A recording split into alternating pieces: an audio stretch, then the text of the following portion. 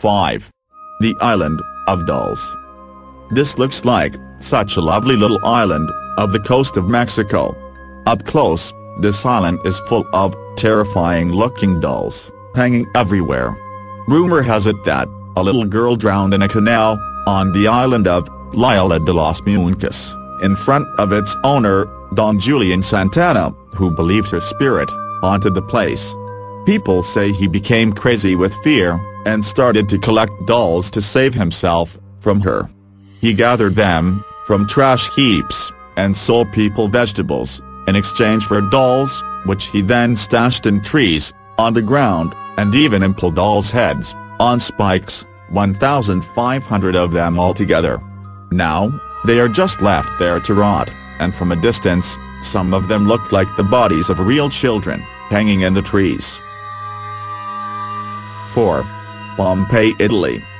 This town, near Mount Vesuvius, a pretty massive volcano, has a collection of living statues. Yes, I say living, they were alive in Roman times. Until, one day, the volcano erupted with huge clouds of volcanic ash, raining down on the village. The ash then covered the people of the village, and solidified, turning them into human statues. Creepy. 3. Herxheim Cannibal Village, Germany. Now, a lovely village in southwest Germany, but back in the Stone Age.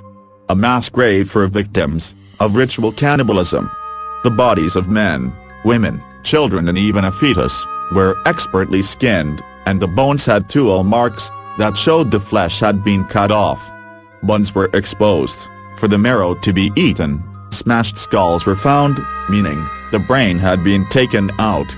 Injuries on some skeletons showed, the people had been spit, roasted. 2. Takakanonuma Amusement Park, Japan. Opened in the mid-1970s, the park swiftly closed, after two years. Many said there was a lot of mysterious deaths that happened, and those are why they shut it down. It was opened again in 1986, but after 10 years, and more mysterious deaths, it closed its doors for a final time. 1. The said lake, Ospuri. What a lovely church, is what you can imagine, most people would say, when walking past this church, in the Czech Republic. But go inside, and it's a totally different story. Everything is made with bones, the bones of between 40,000 to 70,000 people, to be more precise. Chandelier, that's made out of skulls and bones, with a few trumpeting cherubs thrown in. Wall, decoration, made out of, you guessed it, skulls and bones.